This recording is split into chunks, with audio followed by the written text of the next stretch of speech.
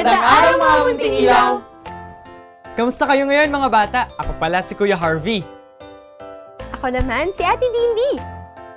Ako si Ate Jo. Kuya Jed, ang itawag niyo sa akin. At Ate May naman, ang sakin. At makakasama naman natin ngayon ang mga kids mula sa Center for Community Transformation Visions of Hope. Kaya't handa na ba kayong makasaya sa amin? Halina kayo! Makinig at makikanta. Matuto makisaya. Welcome sa Mga Munting Ilaw!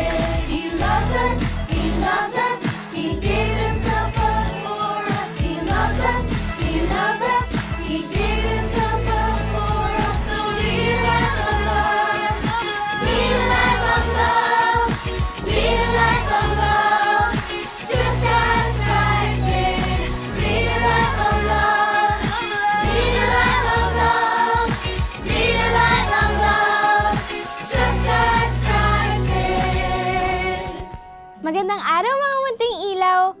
Sino sa inyo naranasan ng matamaan ng bato? O kaya mapukpok ng kahoy? Nako, siguradong masakit yon. At 'di ba, ang pananakit sa ibang tao ay masama? Kaya naman, ang kwento natin ngayon ay tungkol sa pagpapakita ng kahabagan at pag-ibig sa kapwa, lalo na sa mga taong nasasaktan at walang magawa. Ano, ready na ba kayong makinig? O sige, umupo na kayo sa harapan ko para masimulan natin ang kwento sa Bible. Isang araw, may isang manlalakbay o traveler na papunta sa lugar na ang pangalan ay Jericho. Ang daan ay palikuliko at madamo. Maraming mga lugar na pwedeng pagtaguan ng masasamang tao. Naglalakbay ang manlalakbay na ito nang biglang pinalibutan siya ng mga magnanakaw. Ganun, parang nagugutom na ako ah. Uy, sakto. Tignan nyo. Mukhang mayaman tong paparating na to ah. Oo nga, amo. Tama ka dyan, amo. Mukhang nga marami tong pera. Hmm, Sige, hintayin natin yung dito. Tara, lapitan natin. Teka, ba't mo ako nilalapitan? Wala akong pera. Ilabas mo lahat ng dala mo dyan. Ano mo? Sa likod. Uy! Ang marami to, ah. Pero kulang pa yan. Kunin mo pa ibang gamit niya. Madaan lamang ako mula Jerusalem. Ibigay mo na yan sa amin kung ayaw mo masaktan. Gamit ko yan! Tara, bigyan natin to. Tara, takbo, doon tayo. Naku!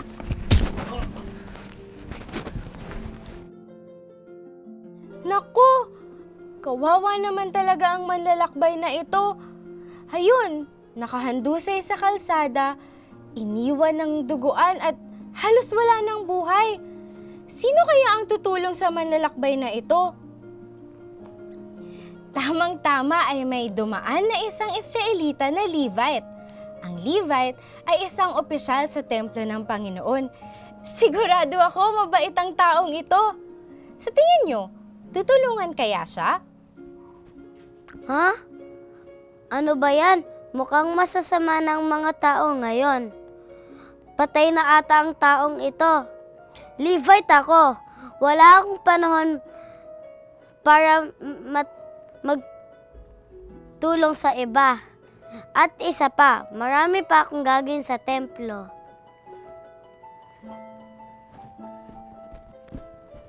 Hindi man lang niya tinulungan ng kawawang manlalakbay.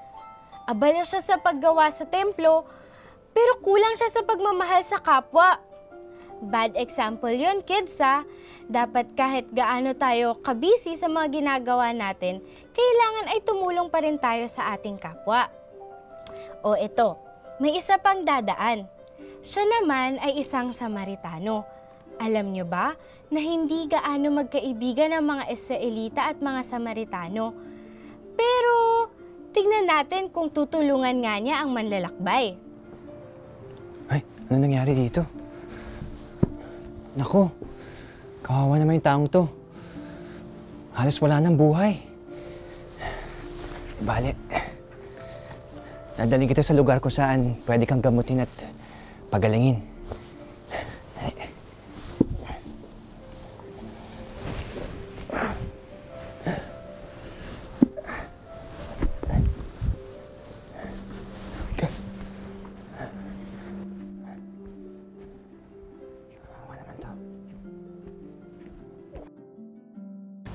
Mo siya mabuti.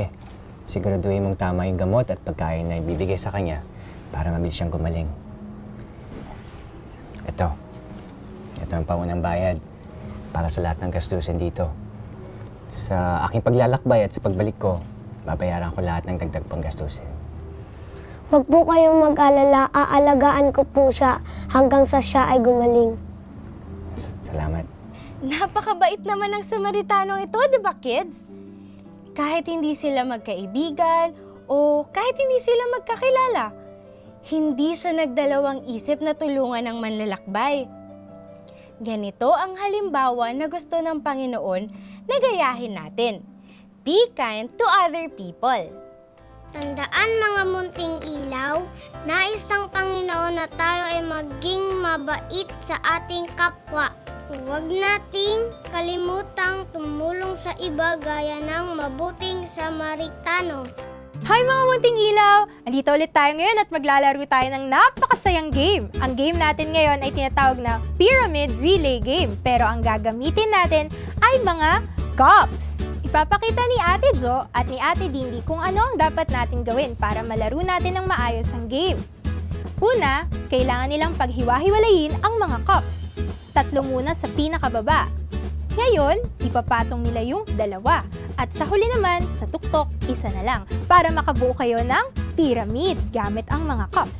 Pero hindi nagtatapos yan dyan. Kailangan yung ibalik ulit sa dati ang pwesto ng mga cups. Pagkatapos, tatakbo na kayo sa pinakalikod at yung susunod naman ang bubuo. Ayan, salamat Ate Jo and Ate Dindi. Naintindihan nyo na ba kids kung ano yung gagawin natin ngayon? Okay, Team 1, are you ready? Yes! Are you ready, Team 2? Yes! Okay, mga munting ilaw. Maglalaro na tayo. Ready? Get set. Go!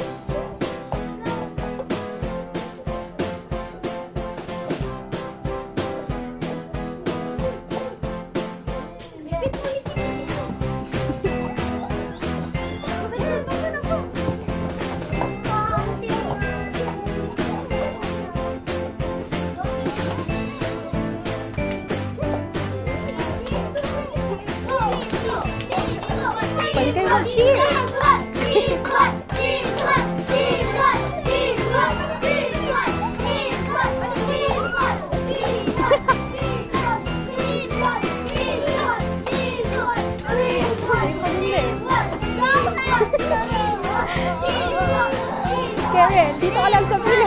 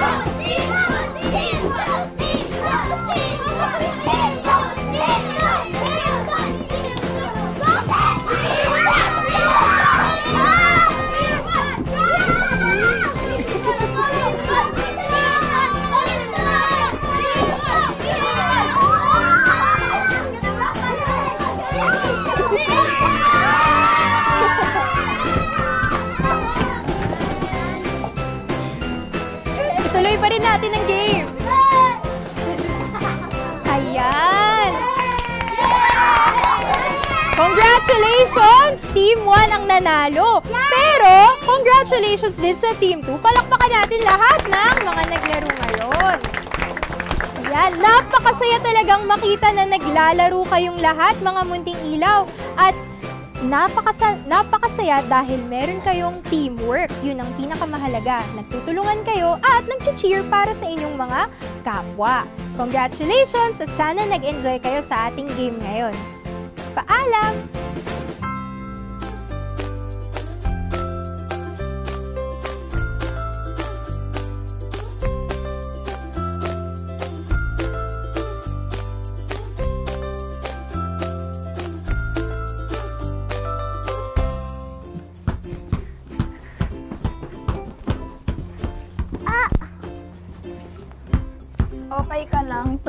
Na kita. Aray, nasugatan ata ako. O- okay lang yan, lika upo muna tayo. Thank you ha. Hihintayin ko na lang ang mama ko. You're, wel- you're welcome. Sasamahan na lang kita hanggang dumating yung mama mo. Ako nga pala si Aliyah. Ano pangalan mo? Ako naman si Rima. Rima! Mama! Ano nangyari sa'yo? Nadapa po siya kanina, may sugat po siya sa tuhod. Ako nga po pala si Aliyah, tita. Uy, naku, maraming salamat, Aliyah. Kahit na hindi mo kakilala tong si Rima, tinulungan mo pa rin siya. O sige ah, Ah, lilinisin ko muna yung sugat niya, mauuna na kami. Ano sasabihin mo kay Aliyah, anak? Thank you na, thank you sa pagtulong mo sa akin. Sige. O, magkita na lang ulit kayo dito sa playground bukas, ha? Sige, bye-bye. Thank you. See you. Okay lang? and be kind one to another, tender-hearted, forgiving one another, even as God for Christ's sake hath forgiven you. Ephesians 4.32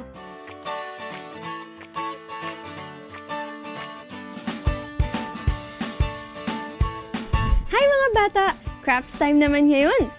Ano nga ba yung story ni Ate EJ kanina? Tama! Good Samaritan! E ano naman ang ginawa ng Good Samaritan? Tama ulit! Tinulungan niya ang isang Israelita. Kaya ngayong crafts, kasama natin si Ate Jo at si Jenny Lynn.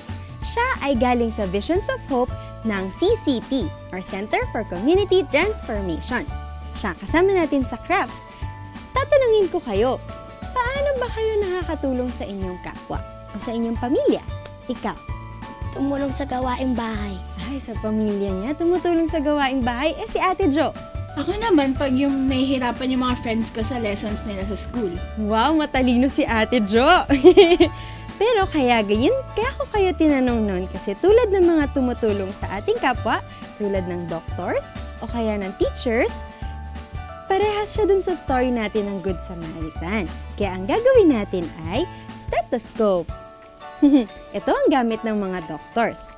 Sige, bago tayo magsimula, ang kailangan natin ay fuzzy wires. Pwede rin yung headband kung meron kayo sa bahay. Mm, felt paper. Ginupit na namin siya ng bilog. At scissors. Ribbon. At glue. Yan. Pwedeng glue gun, pwede ring glue. Ah, sige, simula na tayo. Una, kailangan natin ng dalawang fuzzy wires. Yung ends niya dito, kailangan natin siyang ikutin. Kahit mga tatlong ikot lang. Ayan. Magiging ganito yung itsura niya. Tapos, yung kabila, yung isa naman, ikutin din natin siya.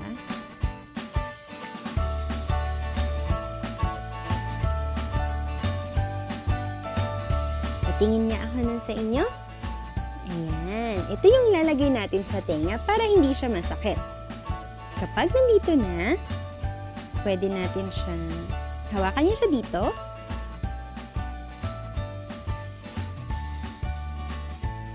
Adjust niyo siya sa ilalim. Kung gaano kahaba yung ididikit niyo. Tapos, titwist natin siya.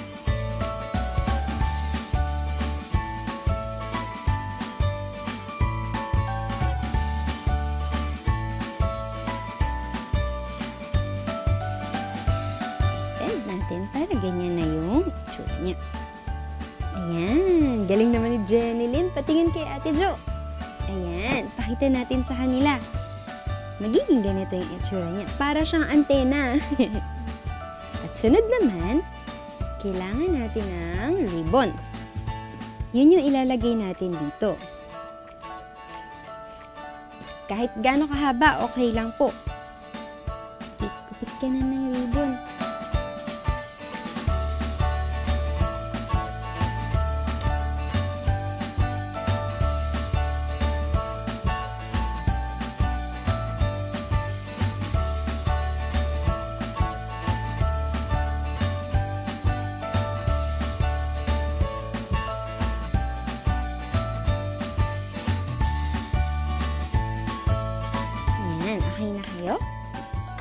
Bago natin idikit, kuha tayo ng felt paper.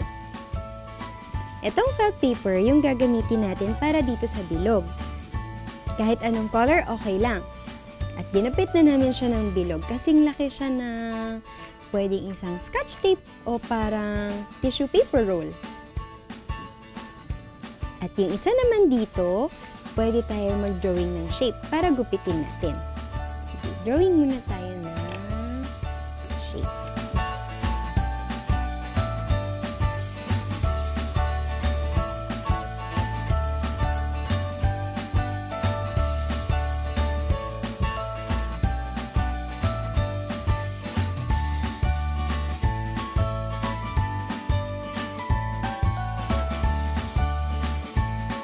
Tapos, pag nagupit nyo na yung shape, dikit natin siya dun sa isang circle.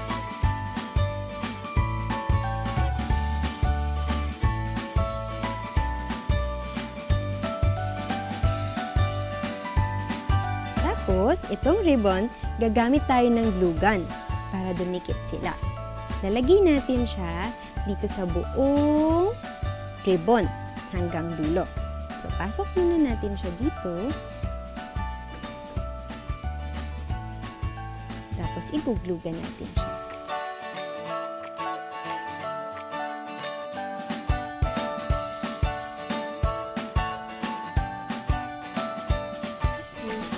Mainit ang lugan kaya kapag hindi kaya, magpatulong lang kay mama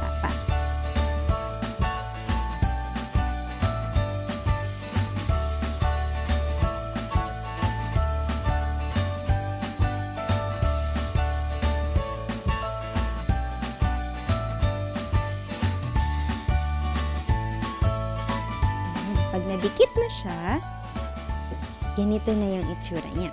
Isang buong ribbon. Yan. Tapos, tsaka natin ididikit itong dalawang circle dito sa ilalim. Papasok natin yung ribbon dito sa gitna.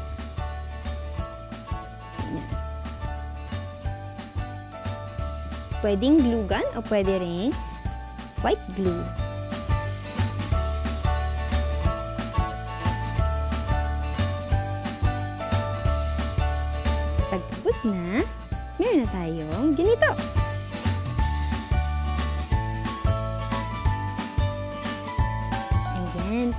Sa kanila yung gawa niyo. Yan, ito ang gawa naming mga stethoscope. Sana maalala niyo sa class na ito na tumulong sa inyong kapwa tulad na lang ng doctors o kaya ng Good Samaritan. Paalam!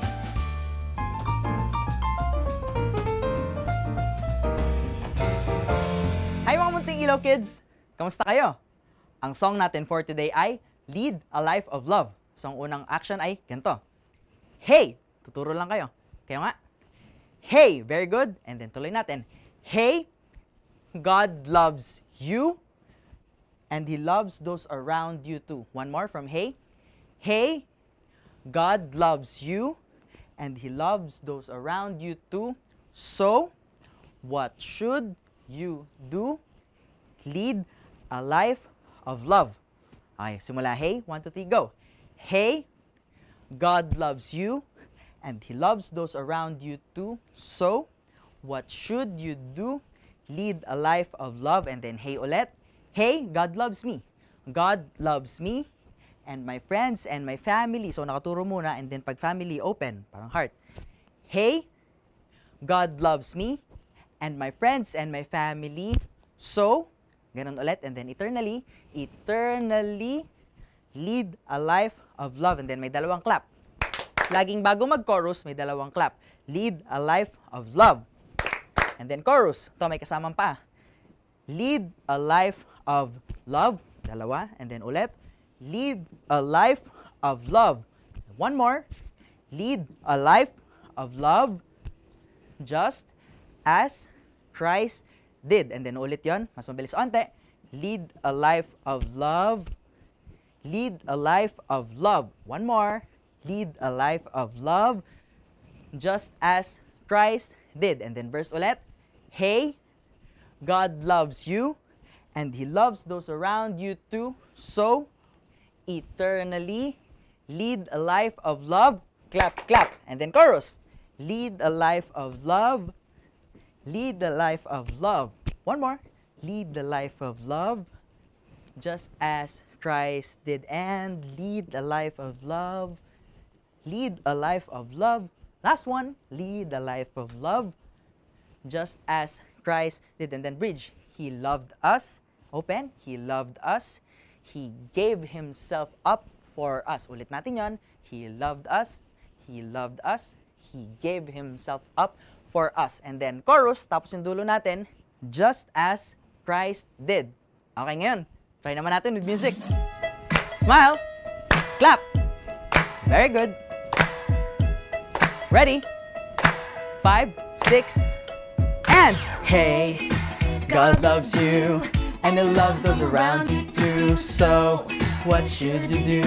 Be the life of love. Hey, hey, God loves me and my friends and my family. So, eternally, i be the life of love. clap. Chorus. Lead a life of love. Lead a life of love. Lead a life of love. Just as Christ. One more. Lead a life of love. Lead a life of love. Lead a life of love. Just as Christ did. Hey, God loves you and He loves those around you too. So, what should you do? Lead a life of love. Hey, God loves me and my friends and my family. So, eternally, I lead a life of love. Lead a life of love. Lead a life of love. Lead a life of love. Just as Christ did. Lead a life of love. Lead a life of love. One more. Lead a life of love. Just as Christ did. Loved us. He loved us. He gave himself up. Repeat. He loved us. He loved us. He gave himself up for us. Lead a life of love. Very good. Lead a life of love. Lead a life of love. Just as Christ did. Lead a life of love. Lead a life of love. Last one. Lead a life of love. Just as Christ did. Very good mga kids. Mamaya pwedeng pwede niyo na kaming sabayan. Maganda ang naging kwento natin ngayon mga munting ilaw tungkol sa pagiging mabuti ng Samaritano. Tama! Kahit hindi niya kilala o hindi niya kaibigan ang manlalakbay, hindi siya nagdalawang isip na tulungan ito. Alam nyo ba mga kids, na ganun din ang gusto ng Panginoon na gawin natin. Sabi nga, let's be kind to others. At dapat ay handa rin tayong tumulong sa kapwa natin, lalo na sa mga nangangailangan.